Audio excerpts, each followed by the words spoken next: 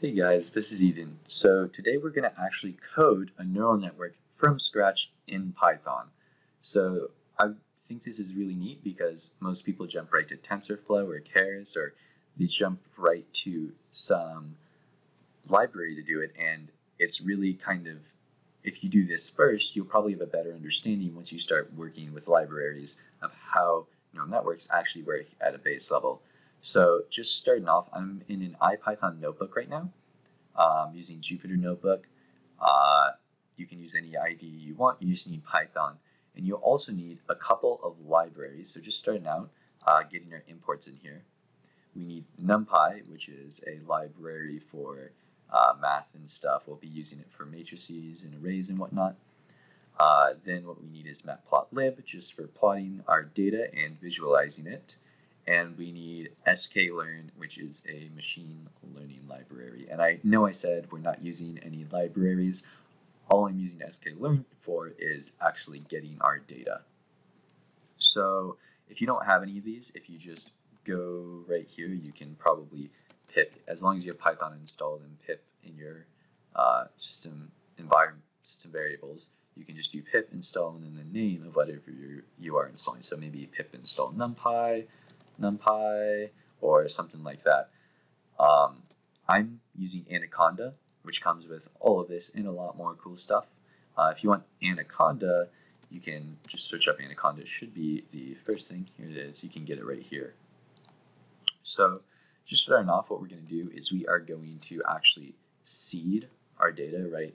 Uh, seed our randomness. When we generate our weights later on, those will be initially randomized and just so it's the same throughout all our tests or you guys following along with me, uh, I'm just going to see this. So then what we need to do is I'm just going to start off by defining some functions, right? So one thing I mentioned earlier in the last video is that we need an activation function and the activation function we're going to be using is sigmoid, right? So if I, right now I can get a sigmoid function, I'm just going to make it so find sigmoid, um, and this is what it is, right? It's 1 divided by 1 plus e to the negative whatever we are tossing in there. And then another thing I'm going to define right now, just for later we'll need it when we are doing our back propagation, is I'm going to need a function that calculates sigmoid prime. So if we want, just so we can kind of visualize these, uh, we have matplotlib, so we can do that uh, we can, if I run this, kind of see the blue one right here is the sigmoid function, and the orange one is sigmoid prime. So these will be helpful later, and I'll show you when we actually start using them. So the next thing we want to do is we actually want to load in our iris data. So we're using the iris data set, right, which is a set of flowers. It has four attributes, right? Um, petal length, petal width, uh, sepal length, and sepal width. And then the output or the label it provides us is either 0, 1, or 2. Each one of those is a different type of flower. So first we will get the data just like this. So we're loading the data set from the sklearn datasets. Then we are taking our training data by taking just the just the input or the x and we're putting that into a numpy array. Uh, there's 150 samples and each of those samples has those four attributes, hence why we're shaping it like this. The next thing we want to do is get the output of the labels, the y, and that will also have 150 labels, right? We want one label for every four attributes. However, uh, as you might have noticed, I don't actually, I call this pre-iris y, and I make an iris y here that's all zeros. And the reason we want to do this is that we want our data to be one hot. And what I mean by this is if let's say our flowers are 2 and then we have a 1 and then we have a 0 and then we have a 1, right? So if these are just four labels, our first type of flower is 2, then 1, then 0, then 1. We want it in this format, right? 0, 0, 1, and then we would want 0, 1, 0, uh, 1, 0, 0, and 0, 1, 0. So the reason we kind of want it in this format is it's a lot easier for a neural network to understand this, or rather, it makes the data processing work better. It'll be it'll it'll be more accurate and faster and easier for it if the data is in this format. And for the same reason, when we get to actually constructing our model, what we'll have is we'll have a model that has three outputs instead of just one. So to actually get it in this format, we'll just loop through our, our y data and change these zeros to ones where they need to be. Awesome. So once we have that, we can kind of plot this data out and kind of see what it looks like.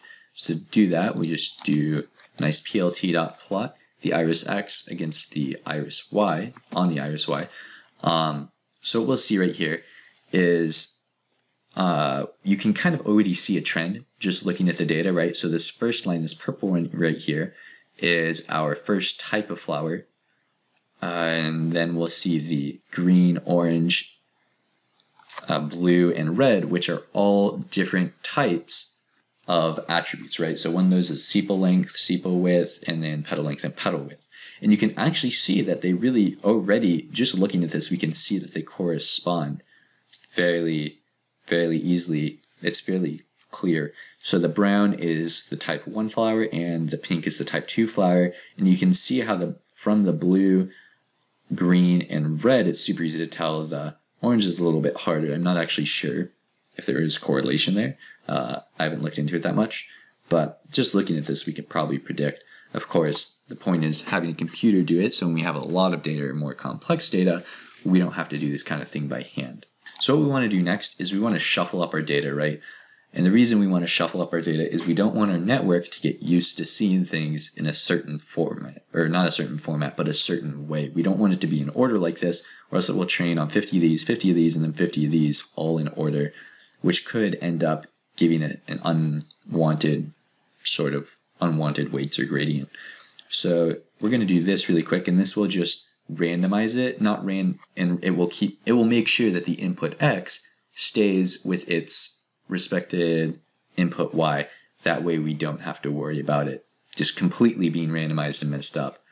So now if we actually plot this, we'll see that it is totally randomized now. You can see that where the blue goes up, the green also goes up, just as in here. So that's a pretty good indication that it all stayed together.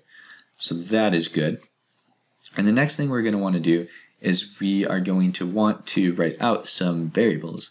And these variables we're going to start out with will primarily be the variables for the structure of our model. So first we'll want how many, the number of input nodes, the number of nodes in our input layer. So in in equals 4. We'll have four input nodes because we have four attributes, right? Then we'll want our hidden layer. We're just going to use 10. You can try other things. Uh, I actually really encourage you to try different amounts of different numbers for the number of hidden nodes. It actually affects your program quite a bit. And then we'll have three output layers, out not output layers, output nodes, because output nodes we have the class for zero, class for one, and the class for two. Another thing I didn't mention earlier, what's nice about having it in the one hot format is that not only is it just zero, one, or two, you can have some percentage that maybe the probability that it's zero, the probability that it's one, and the probability that it's two. For example, you might have 0 0.1, 0 0.8, and 0.3. And from this, we could be pretty sure that it's a type 1 flower. Although we can also see that it's more it more resembles a type 2 than a type 0. In some cases, you might want that. In some cases, you might not. It just kind of depends.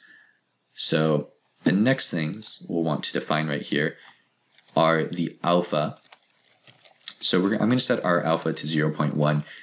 Um, and what the alpha actually is, is, sorry, the alpha tells us how much we change the weights. If we want to change them a lot, our alpha is going to be higher. If we want to change them a little bit, our alpha is going to be smaller. 0.1 is pretty high for most things. normally you'd probably be using like 0.001 or 0.01 is what you'll see with most models. But in this case, because we're it's a very simple network, 0.1 works just fine. And then we're going to have in epochs. And an epoch is essentially just one, we're going to do 500. An epoch is one run through of all the data.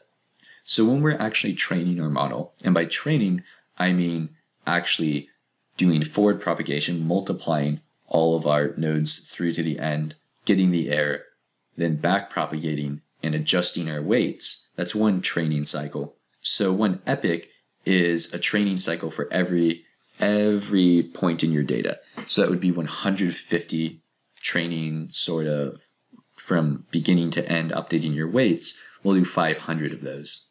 Awesome. So that's kind of the variables we want there.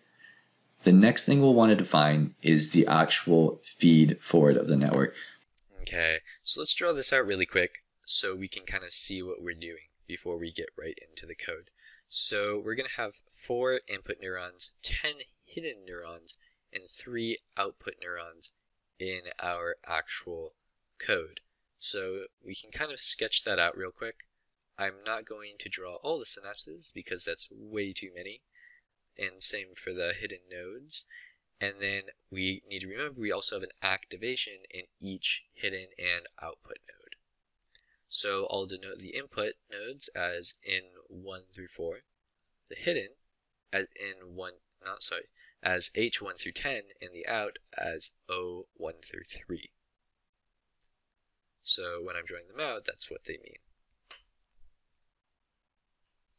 Now, 4 and 10 nodes is quite a bit to have, so instead we're going to go with 2 and 4, really just replacing that 10 with a 2, which will make drawing all this out with the weights much, much easier.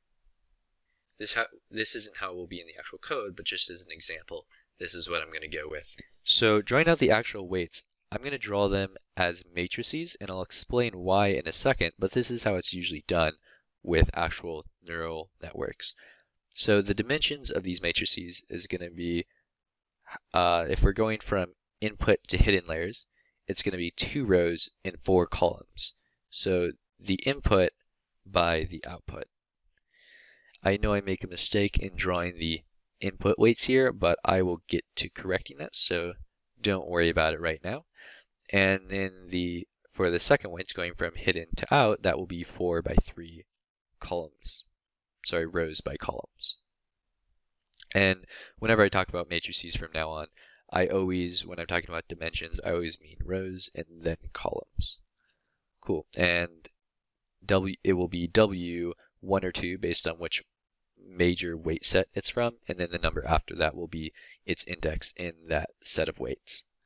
So why do we use matrices? And the reason for that is if we actually take it your GPU that uh, is in your computer is that your GPU can do matrix calculations really, really, really, really fast. And the reason for that is that all games and like the reason you want a good GPU to render stuff quickly is because rendering stuff is just matrix calculations. It's so many, and that's what a GPU is optimized for. So if we can actually do our neural network in with these matrices, we can get a huge speed up, really, really big. And I'm not talking about like five times. I'm talking about like 10 times, 20 times, 50 times. It's insane. So we won't actually be coding that because it's a bit difficult without a library. But once we get to TensorFlow, we'll be doing that.